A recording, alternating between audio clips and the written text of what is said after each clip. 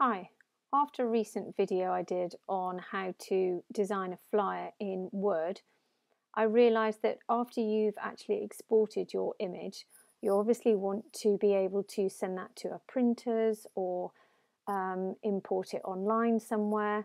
And so really you need to know how to convert your image into a JPEG. So this is what this video is all about. So I've come up with a very simple design here of a flyer that I've, um, I've recently done in Word. It's just for example purposes.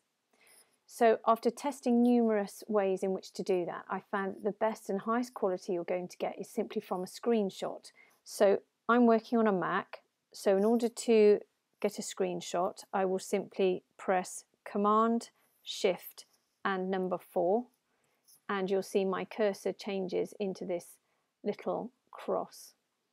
And all I'm going to do is go to the corner of my image and I'm simply going to drag out to the edges of my image and that has now taken a screenshot.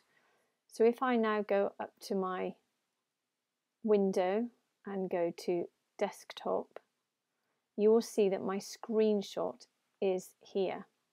But it's actually in a format of a screenshot PNG and I would like it into a JPEG. So I am going to drag and drop this into my Photos app. And here you see it's in my Photos app. I'm going to double click and I'm going to go up to the Edit. Then I'm just going to crop this image just to ensure that I haven't got any of the white surround that Word might give me as I've cropped it. I'm going to press Done.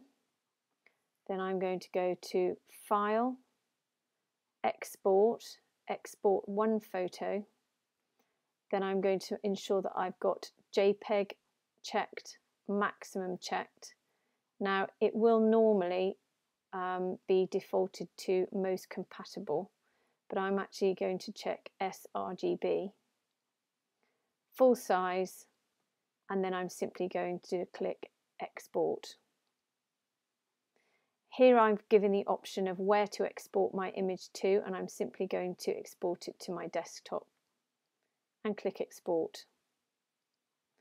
Okay, now you can see in my desktop file here I've got the screenshot I took as a PNG file and now I've got my JPEG here. So if I just click on my JPEG, you can see now I've converted my poster that I made in Word into an image. And if you don't like this file name, you simply go up to the file name and change the file name. And there you have it. I hope that's helped. If it has, please subscribe and have a great day.